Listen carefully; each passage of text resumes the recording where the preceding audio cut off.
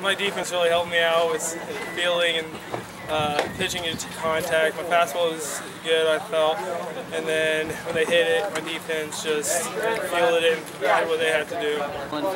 Yeah, just a little. It was more. I was more adrenaline in the beginning, just first game and all, and I think some of my teammates were like that too. And but by the end, I think we all got comfortable and like usual and was ready to play. It's awesome. It's great to be back out here, and I'm just, you know, I'm just excited to, you know, be playing again. So it's been great. I mean, I've made a, made a pretty good adjustment there. It's kind of weird not getting the ball, you know, every single play. I've gotten so used to that, but I mean, it's been a good adjustment, getting used to it, meshing with the other infielders. So it's been awesome. Looking forward to making that my home.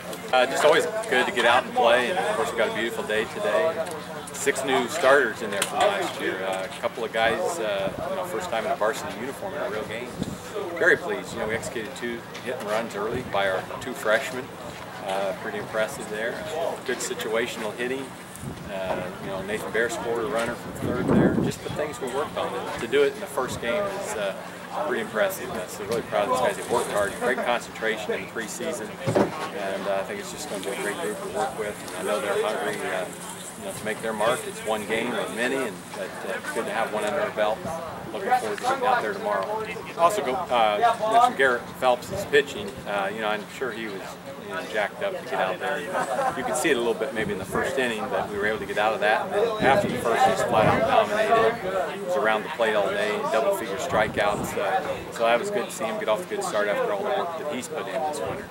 And then tomorrow, uh, Fountain Central moved up a day. We're sitting good.